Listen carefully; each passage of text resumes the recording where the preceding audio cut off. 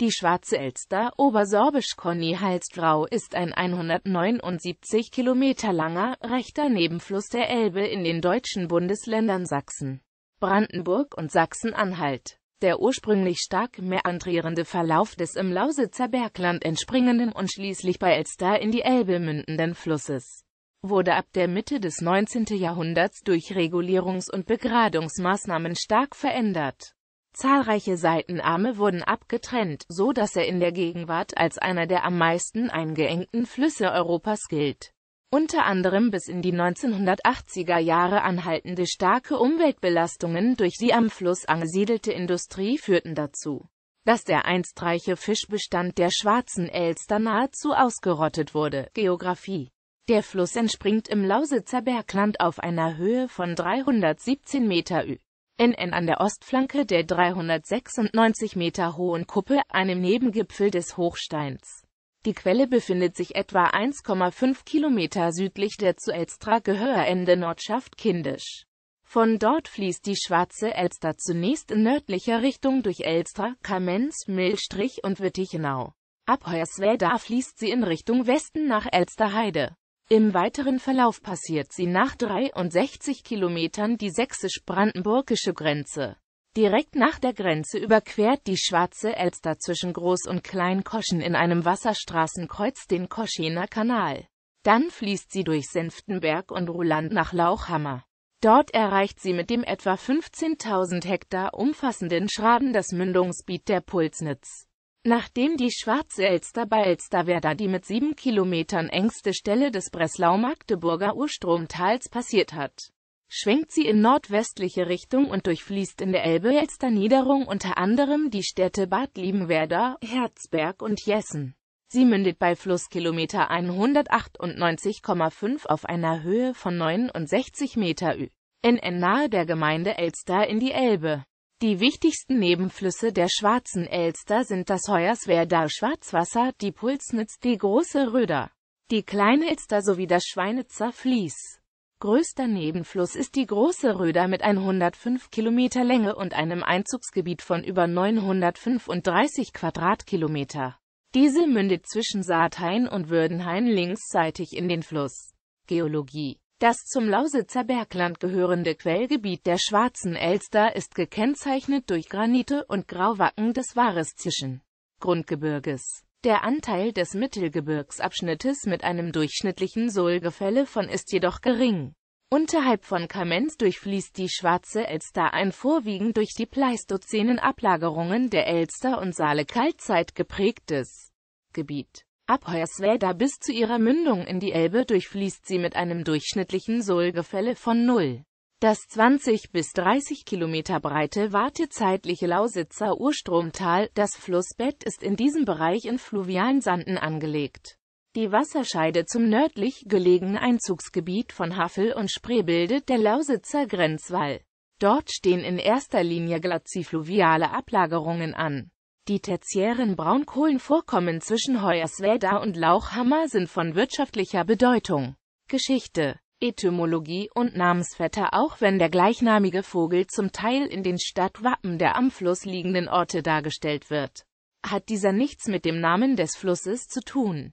Er gehört vielmehr mit seiner Grundform Al-Astra oder Al-Istra zum indogermanischen LOL für Fließen, Ströme mit der germanischen Endung Straße. Flussnamen, die auf die gleiche Grundform zurückgehen, gibt es in ganz Europa. Mit der aus Tschechien im Elstergebirge entspringenden und in die Saale mündenden Weißen Elster kommt die Schwarze Elster nicht in Berührung. Den Beinamen Weiß erhielt die Weiße Elster wegen des Schwarzbaches, der bei Adorf in die Weiße Elster mündet. Geschichtlich-politische Bedeutung Die Schwarze Elster bildete ursprünglich große Teile der südlichen Grenze der sächsischen Ostmark die im Jahre 937 unter dem deutschen König Otto I. entstanden war. Im 11. Jahrhundert war sie zeitweise Grenzfluss zwischen deutschen und polnischen Herrschaftsgebieten und auch die Grenze zwischen der Niederlausitz und der Oberlausitz folgt ab Lauchhammer bis etwa Geierswalde dem Verlauf der Schwarzen Elster.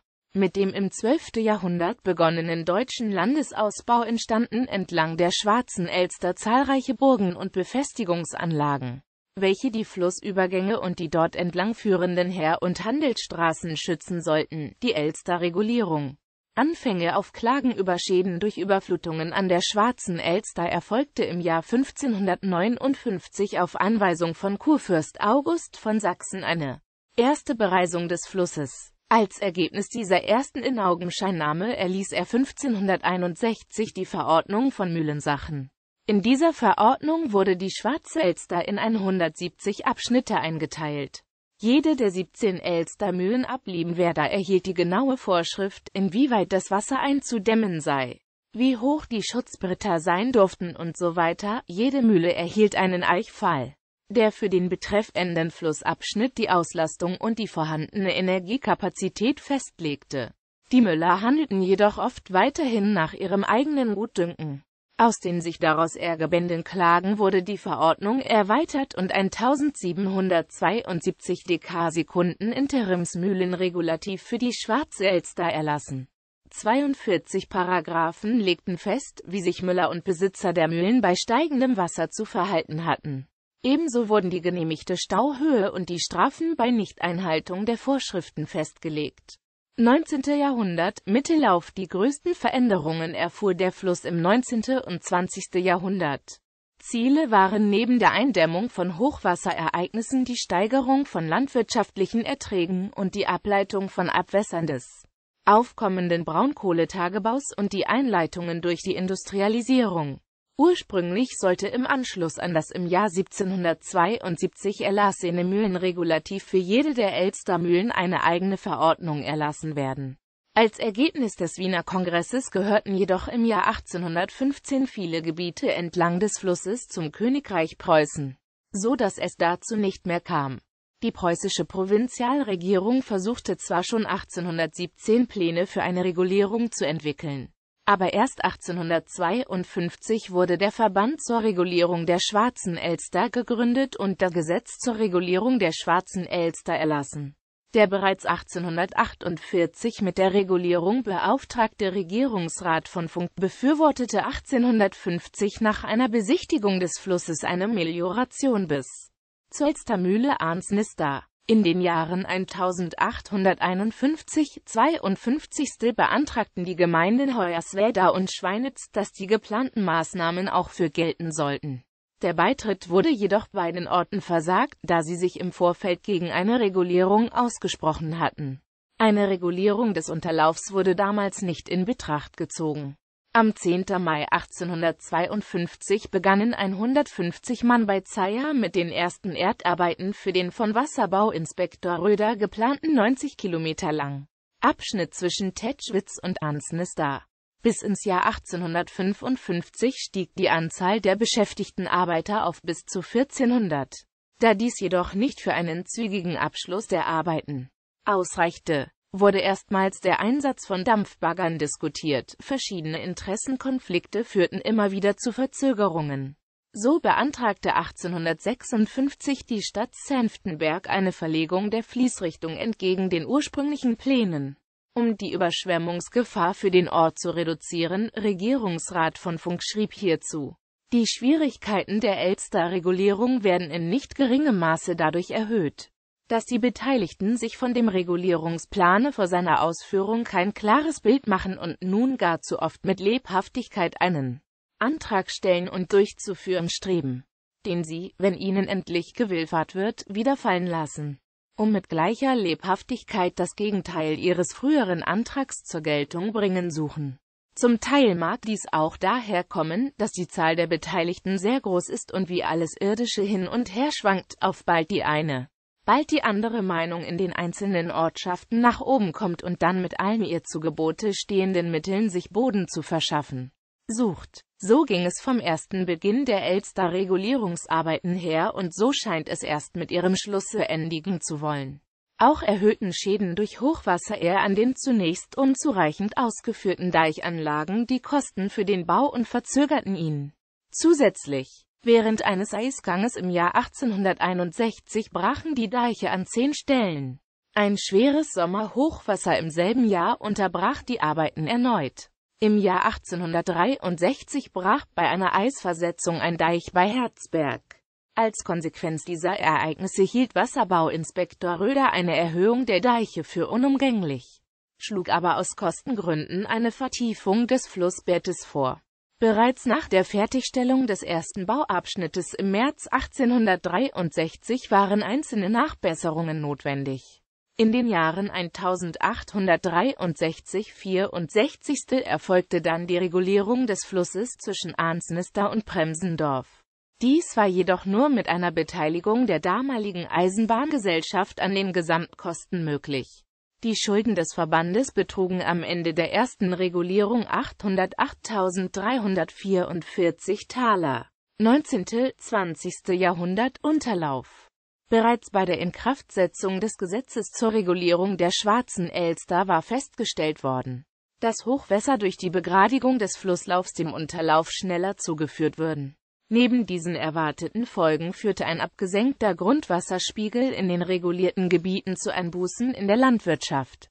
Die Trockenlegung ehemaliger Überflutungsflächen bedeutete große Nachteile für Flora und Fauna.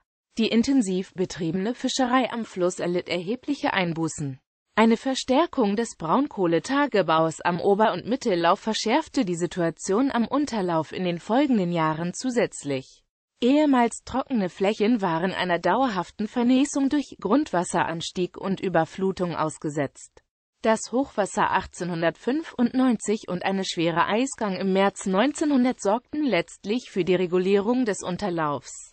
Der mit dem Projekt beauftragte Meliorationsbeamte Neumann legte 1902 die Entwürfe zur Regulierung von Bremsendorf bis zur Mündung vor die Anlieger und Interessenten wollten jedoch erst, dass nur die Mühlen und die Stauwerke abgerissen werden, um zu sehen, wie sich die Bedingungen danach änderten. Nach einem schweren Hochwasser im Jahr 1907 brachen oberhalb von Bremsendorf drei Deiche, weite Überschwemmungen waren die Folge.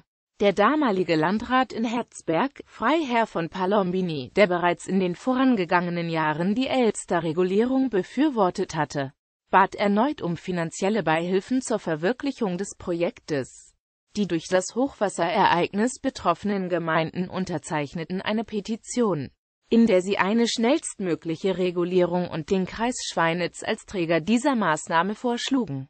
1908 legte Neumann den überarbeiteten Entwurf zur Regulierung vor. Die Gesamtkosten sollten 400.000 Mark betragen. Nach einer ersten Bewilligung von 70.000 Mark im Jahr 1911 wurde die Eisenbahnbrücke bei Bremsendorf neu gebaut. 1912 begannen erste Ausbaggerungsarbeiten in der Nähe von Gosdorf. Bis zum Kriegsbeginn 1914 waren mehrere Durchstiche am meandernden Flusslauf fertiggestellt. Einem sich abzeichnenden Arbeitskräftemangel wurde mit der Heranziehung von Arbeitslosen entgegengewirkt durch die Maßnahmen kam es zu einer merklichen Grundwasserabsenkung und deutlich schnelleren Absenkung von hohen Wasserständen. Zu einer Unterbrechung der Arbeiten kam es erst in den Jahren 1917 18 durch den kriegsbedingten Mangel an Arbeitskräften. Aber auch durch einen sehr strengen Winter. Im Jahr 1921 konnten die Arbeiten bis auf den Umbau des Jessener Mühlenstaus beendet werden. Schwere Schäden durch ein Hochwasser im Jahr zuvor sorgten jedoch für Forderungen nach weiteren Ausbaumaßnahmen. So verursachten Versandungen des neuen Flussbettes immer wieder einen geminterten Wasserabfluss. Die Strecke zwischen Bremsendorf und Kremitz versandete fast bis zur Uferhöhe. 1921 stellte der Meliorationstechniker Winter einen weiteren Entwurf zum Umbau des Flussbettes vor, der aber bis 1927 nicht realisiert wurde. Am 23. August 1927 begann die Nachregulierung zwischen Gosdorf und Bremsendorf mit einer Bauzeit von vier Jahren. Am Bau waren insgesamt 300 Arbeiter beschäftigt, davon 30 Kriegsgefangene. Elf der insgesamt 36 Kilometer waren im November 1928 fertiggestellt.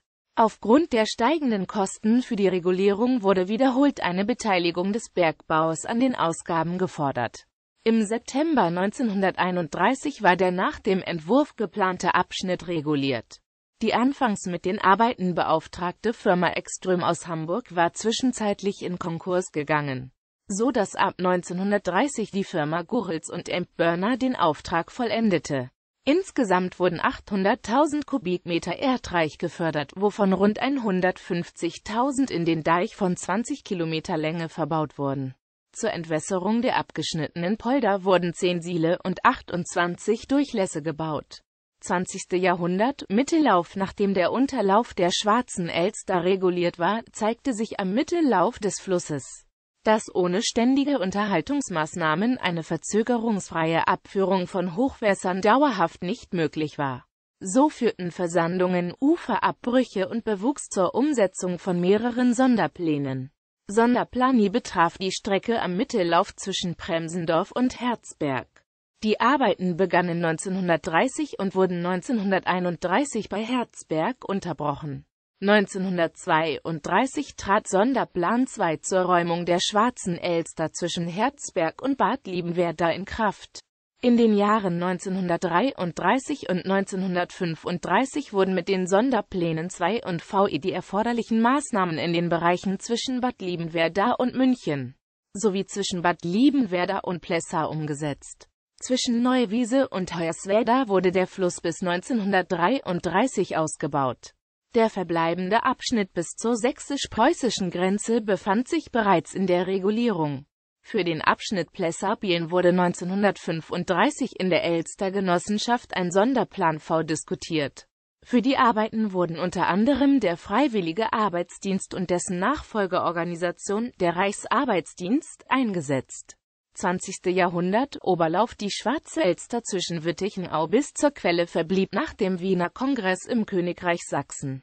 Wie auch im Unter- und Mittellauf des Flusses sorgten Überflutungen für größere Schäden. Auch dort wurden der stark meandernde Verlauf, aber auch Verbauungen durch Mühlenstau als Ursache festgestellt. Im Dezember 1912 wurden zwei Unterhaltungsgenossenschaften auf Grundlage des Sächsischen Wassergesetzes von 1909 gegründet. Deren Aufgabe war die Unterhaltung der Schwarzen Elster und der dazugehörigen Flutrinnen sowie der Hochwasserschutzanlagen, die Reinhaltung des Wasserlaufbettes und den Schutz der im Bereiche gelegenen Grundstücke vor Uferangriff, Überschwemmung, Eisgang und Versumpfung sicherzustellen.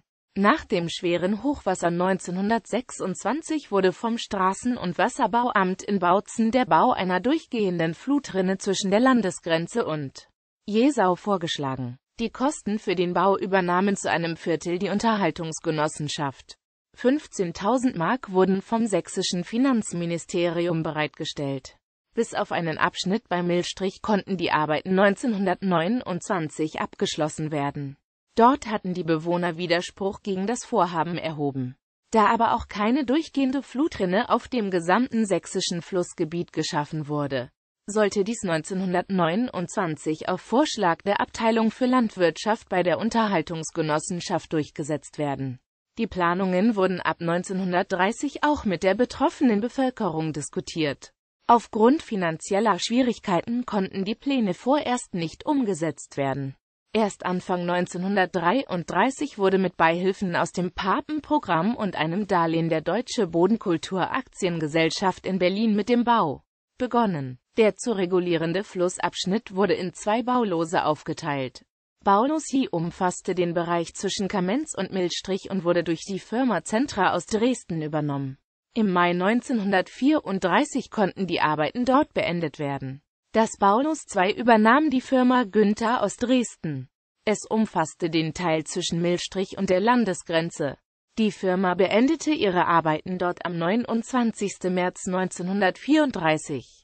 Letzte Meliorationen erfolgten im Umland bis 1935.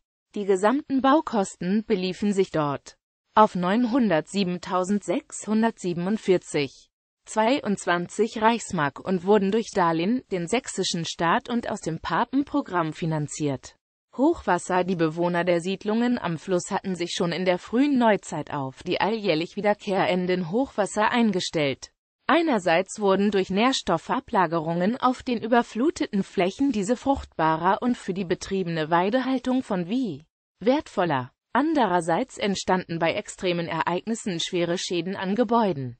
Menschenleben waren zu beklagen und die Saat auf landwirtschaftlich genutzten Flächen wurde durch das lange stehende Wasser zunichte gemacht. Gut dokumentiert sind Hochwasserereignisse ab etwa Mitte des 18. Jahrhunderts. In dieser Zeit wird von fünf bedeutenden Ereignissen in den Jahren 1771, 1772, 1784, 1785 und 1799 berichtet, bei denen durch Dammbrüche die angrenzenden Gebiete überflutet wurden.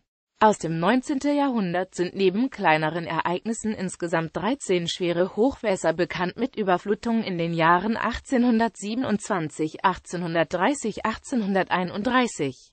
1845, 1851, 1854, 1861, 62., 1867, 68., 1871, 1880, 81. und 1895 im 20. Jahrhundert sind Hochwasserereignisse aus den Jahren 1907, 1909, 1919, 20., 1926, 27. durch ihre Größe bekannt geworden.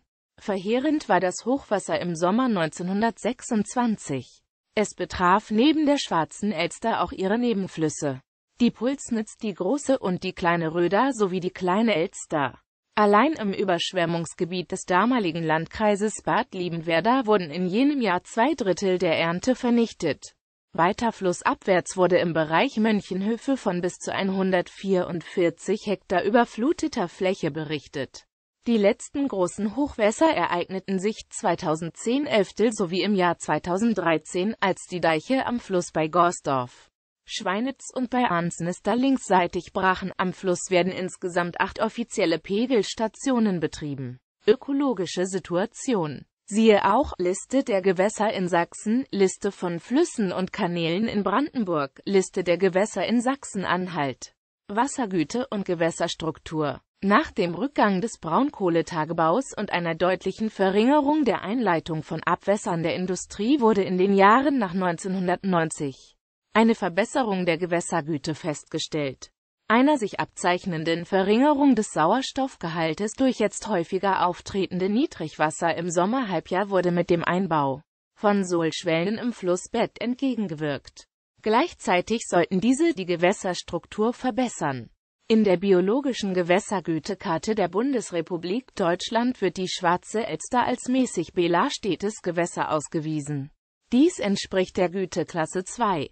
Die Gewässerstruktur wird im Gewässergüteatlas mit den Strukturklassen 3 bis 5 beschrieben. Renaturierung, Revitalisierung Die Schwarze Elster gilt als einer der am meisten eingeengten Flüsse Mitteleuropas.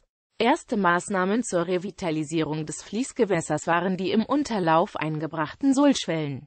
Am 27. September 2007 fand die erste Schwarze Elster-Konferenz unter dem Motto Aqua est Vita, Wasser ist Leben statt. Nach der zweiten Konferenz am 17. November 2008 wurde im März 2010 eine Arbeitsgemeinschaft Schwarze Elster gegründet, die die Renaturierung nach den Erfahrungen bei der Kleinen Elster umsetzen will. Weitere Renaturierungsvorhaben in der Schwarze Elster Niederung begannen am Altwasser Borken im Dezember 2008. In den darauffolgenden Jahren wurden Vorhaben dieser Art am alten Hechtzug bei Elsterwerda am Krebsscherenaltar am Neumühl und am Altwasser in den langen Naundorfer Elsterbrüchen umgesetzt. Nach dem Elster-Hochwasser 2010 begannen umfangreiche Planungen zum Hochwasserschutz und zu einer damit möglichen Revitalisierung einzelner Flussabschnitte